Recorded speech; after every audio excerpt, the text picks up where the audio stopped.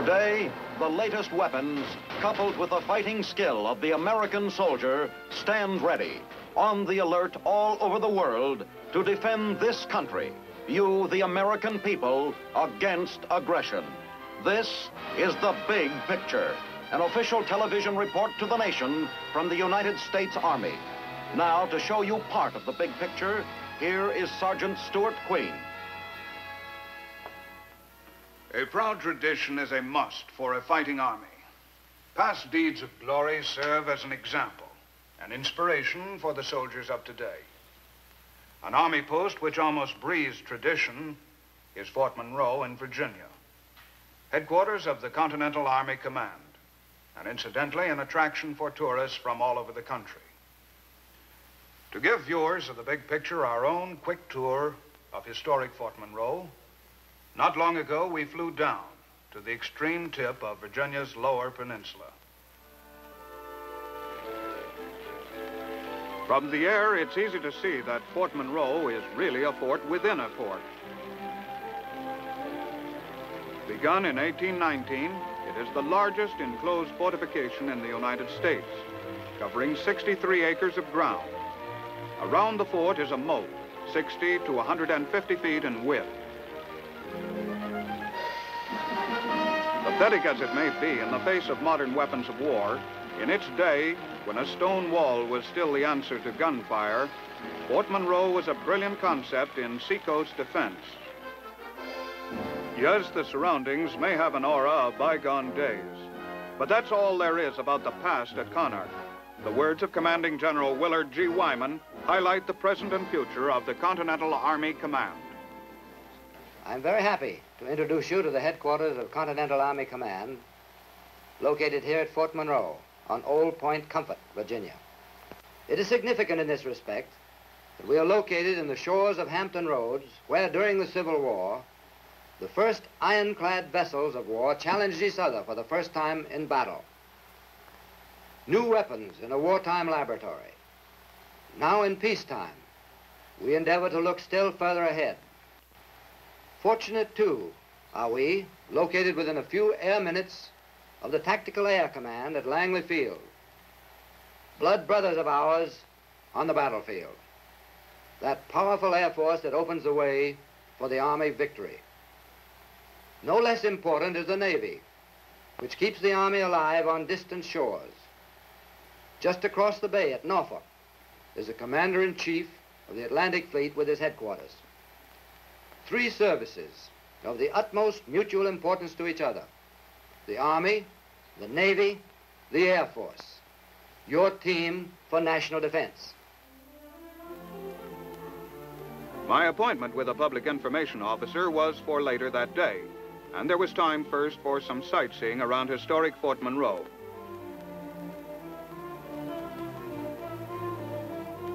Known first as Fort Algernon, the original fortifications were started by the English in 1609, a good many years before our country was founded. And that's the first thing to strike you about Fort Monroe, how long it has served so well.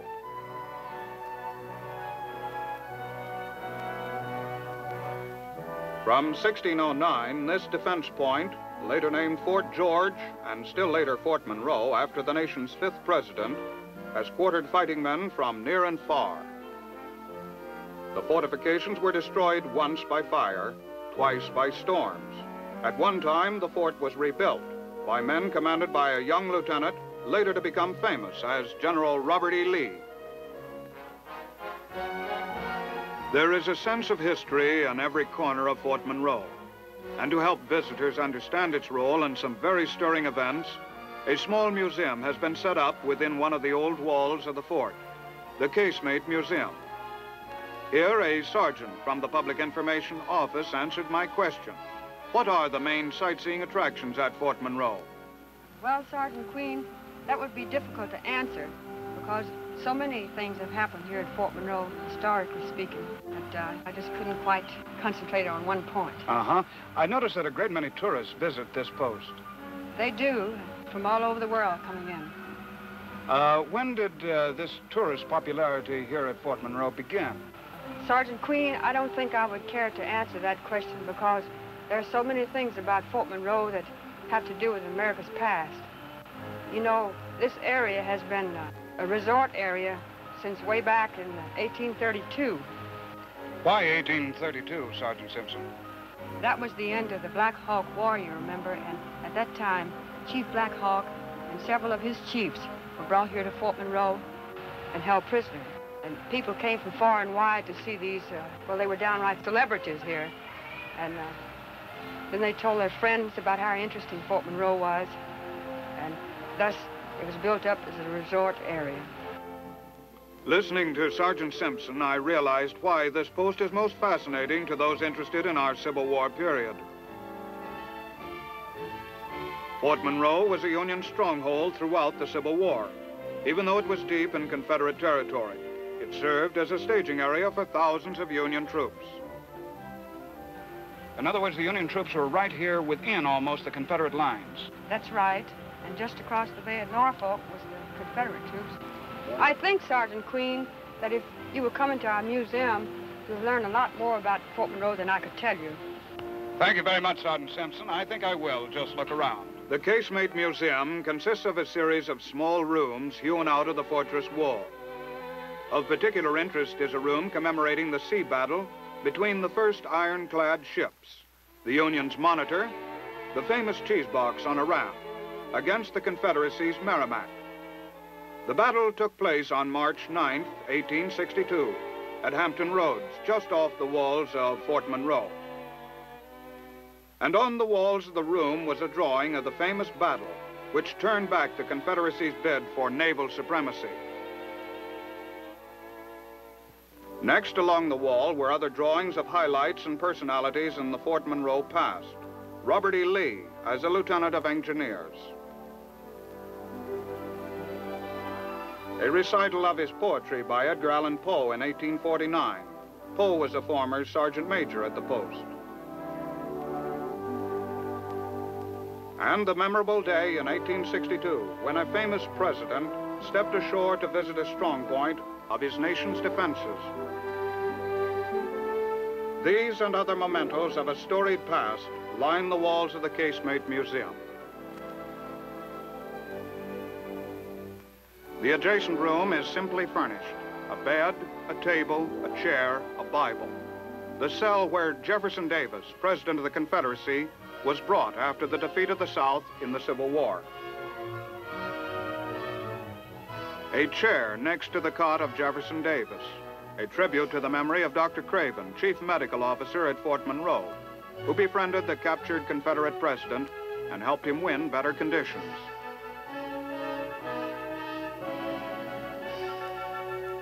Close by the Casemate Museum is another hallowed building linking Fort Monroe's past with their present, the lovely Chapel of the Centurion. Serving as a post chapel for Fort Monroe, it is open daily for prayer. With me on my visit was Chaplain Mills, post-Protestant chaplain. Chaplain Mills, I understand that the chapel was erected almost 100 years ago. Uh, yes, Sergeant Queen. It was built in 1858 by Lieutenant Julian McAllister, a young officer at Fort Monroe, as a thanks offering. A thanks offering? Yes, Lieutenant McAllister and two other officers were working in a Fort Monroe laboratory. There was a bad explosion. Uh, McAllister escaped unharmed, but his two companions were killed. In recognition of the divine providence which had spared his life, uh, Lieutenant McAllister sponsored the building of this chapel with his own funds and money collected from friends.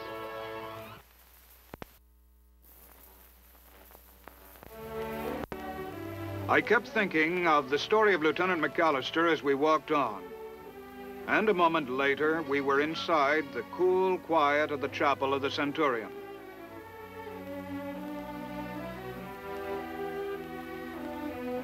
The chapel is dedicated to St. Cornelius, patron saint of military men, who was converted to the Christian faith by the Apostle Peter. Cornelius was a Roman centurion, an officer commanding 100 men. And that's why the name Chapel of the Centurion.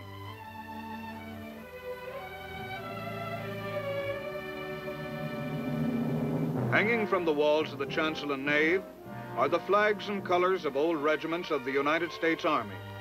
These flags, faded and worn over the years, have rustled quietly over many a national leader who has come here for moments of spiritual repose. Among them was President Woodrow Wilson, who more than once left Washington to spend weekends at Fort Monroe, where he worshiped in this flag-lined chapel. The stained glass windows are dedicated to the military men who have served at Fort Monroe, all good and faithful servants whose memory will always be cherished by a grateful nation. They served in the watchful, quiet years of peace, and in the rumble and thunder and sacrifice of war.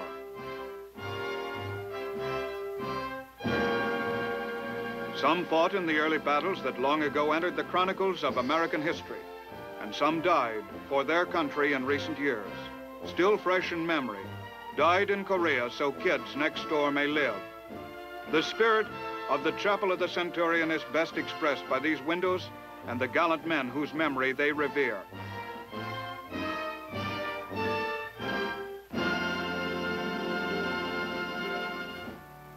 So the kids next door may live.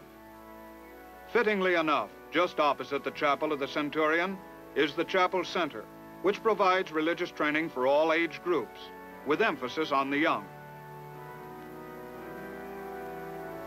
There are three youth chapels here. In an atmosphere that is pleasant and spiritually uplifting, they worship regularly. The post has always been a leader in the field of soldier and dependent education.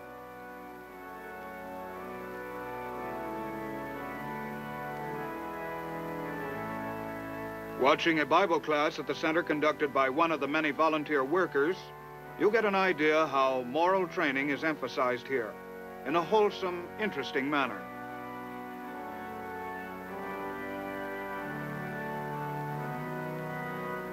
No wonder, then, religious classes are among the most popular activities at Old Fort Monroe. And for that matter, there's many a reason why it is a popular post with the men stationed here.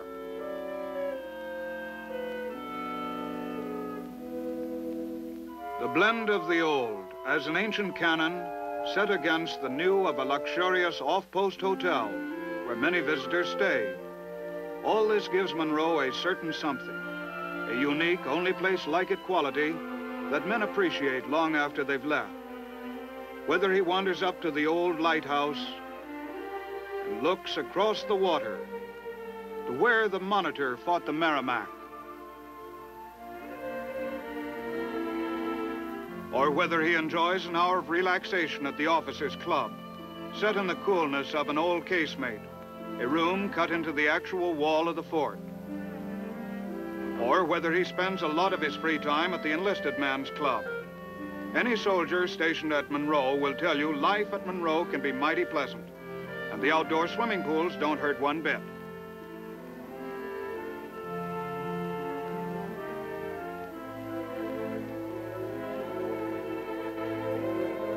Dependent housing is available, with plenty of room for kids to play, and a wonderful view of the Atlantic to boot. There's even an unofficial dog cemetery, where Rover and Fido and company are laid to rest. Impressions mingle, one with another, as you walk through Fort Monroe. There are the old quarters built in 1819, still in use. The churches, so that men and women of every faith can worship in their own way. There is the impressive grandeur of General's Row, from where by 7.30 every morning, senior officers have left for work.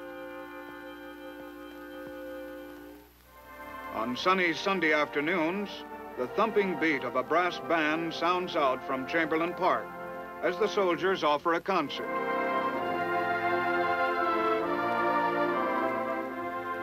From one end of Monroe to the other, the stirring music can be heard. It washes over the empty gun emplacements and blares across the water where sailors on freighters, bound for Europe and South America, come up on deck to listen. How many times do you suppose these ancient moat walls have echoed to the music of the Fort Monroe Band? Almost a countless number. For these stone barriers were built to ward off the musket and the cannonball, and still stand today in the era of the rocket and the guided missile. Surely the fort is no bulwark of defense today. It is more a symbol of the unwavering, unfaltering past of a great nation. But the everyday work at Monroe, the work of CONARC, concerns itself with the past only as a lesson for the present and a guide to the future. And the future of our Army, that is the business of CONARC, as I soon learned in my interview with one of Fort Monroe's public information officers. How do you do, sir? How are you? Sit down, please. Major Gordon Andrews is one of the public information officers of the Continental Army Command. Major, would you outline for our big picture audience some of the important functions of CONARC? Well, as you know, the soldier forces within the United States are divided into the six armies and the military district of Washington. The six armies covering a section of the country. The commanding general commands the six armies and the military district of Washington. Along with this command function, he is also responsible to the chief of staff for many of the other functions. Would you mind spelling out the more important ones for us, sir? It is the job of the Continental Army Command to create improved weapons and develop doctrine, tactics, and techniques for a modern defense force. CONARC officers must look into the future, planning for new weapons and uniforms of war, together with the know-how to use them to the greatest advantage. Working with its six field testing agencies, known as boards, as well as an Arctic test branch, CONARC's development and test section keeps tabs on how theory works out in practice. At Board 1, for example, in Fort Sill, Oklahoma, CONARC men have participated in many tests to improve the Honest John, a rocket capable of delivering various types of warheads at long range.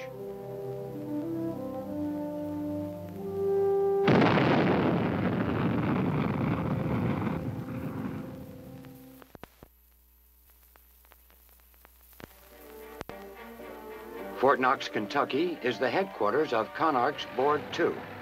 Here, the dust and grime of operational use tests the latest in armored vehicles and automotive equipment, as the M59 armored infantry carrier, or the T-101 self-propelled gun. Every piece of rolling equipment gets a rough going over as CONARC men watch and report on the need for possible changes. The T-101 shows a lot of bounce as it goes through one obstacle after another to prove it's good enough to join the Army's armada of mobile weapons. At Fort Benning is CONARC's Board 3.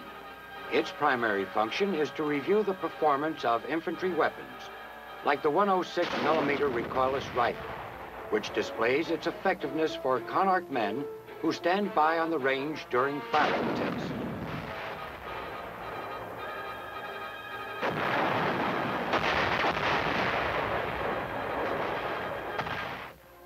Fort Bliss, Texas, headquarters of CONARC's Board 4, which is primarily concerned with the Nike guided missile, now being used in many defense locations throughout the United States.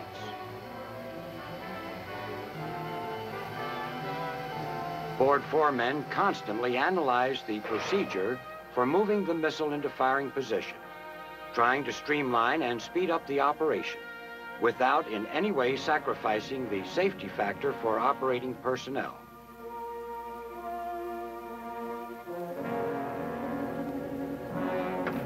Board 4's field of interest also extends to target drone planes, pilotless machines hurtling through the air under complete control of men on the ground.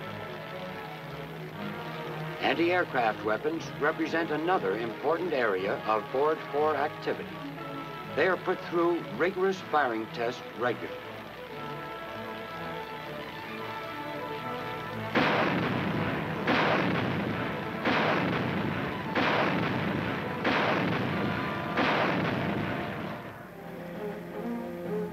At Fort Bragg, North Carolina, CONARC's Board 5 tests communication and electronic equipment in cooperation with the Signal Corps. CONARC officers travel to all parts of the country to examine new developments like combat television, as when put through test at a recent combat demonstration in Fort Meade, Maryland. The advancing troops may be way up ahead, but the television screen tells those at headquarters how things are going. Field radar installations and other electronic equipment are run through constant operational tests under the supervision of CONARC Board 5. Fort Rucker, Alabama, a name and a place synonymous with Army aviation.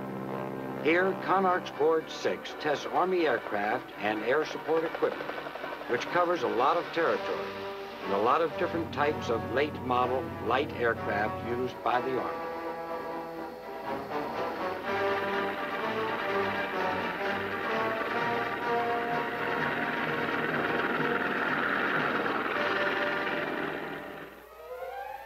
Fort Greely, Alaska, home of CONARC's Arctic Test Branch.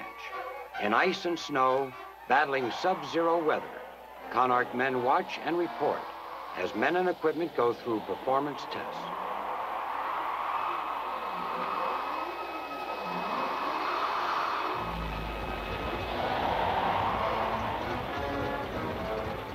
Guns blast across the frozen Arctic, just part of CONARC's extensive program for observing how material meets the test of combat conditions through its six boards and the Arctic Test Branch.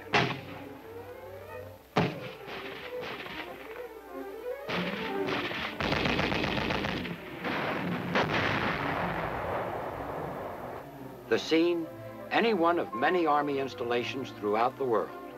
A projector is turned on for a training film. CONARC is concerned here too, for another of its functions is to prepare Army instructional material, training aids that result in quick learning of Army skills. CONARC also supervises the training of individuals and units of the reserve forces. CONARC prepares plans for the ground defense of the continental United States. And also maintains liaison with appropriate Canadian and Mexican defense agencies. And lastly, but of vital interest to areas hit by disasters, as the floods that have raged over wide stretches of the country in recent years, CONARC prepares plans for and is ready to assist civil authorities in securing immediate relief when a disaster suddenly strikes a widespread area.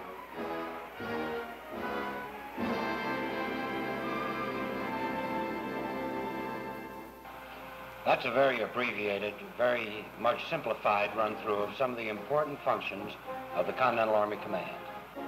Thank you, Major. By the way, where's that band music coming from? That's from our parade ground. You're just about to get in on the awarding of the Soldier of the Month here at Fort Monroe. A few minutes later, a parade was taking place on the Carpet Green Parade grounds.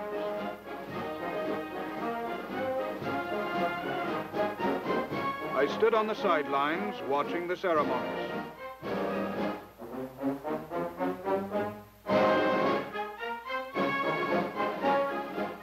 Fort Monroe's Soldier of the Month received his award.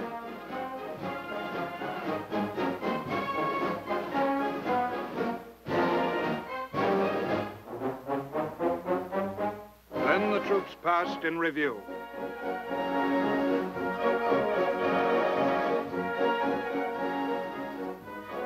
Certainly it was not massive as Army parades go.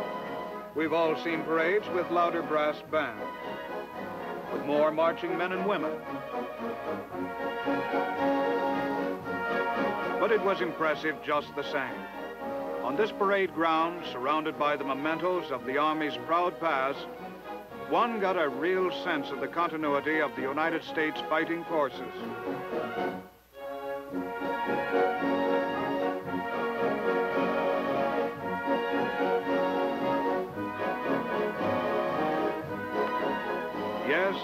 Here in the atmosphere of the old, where Continental Army Command is planning the Army's new look, you realize this. Since the long ago days of our country's founding, there has always been a proud fighting army, ready to defend America. Historic Fort Monroe, home of the Continental Army Command, still plays a prominent and vital role in the national security of the United States. Now, this is Sergeant Stuart Queen, inviting you to be with us again next week for another look at the big picture. The Big Picture is a weekly television report to the nation on the activities of the Army at home and overseas.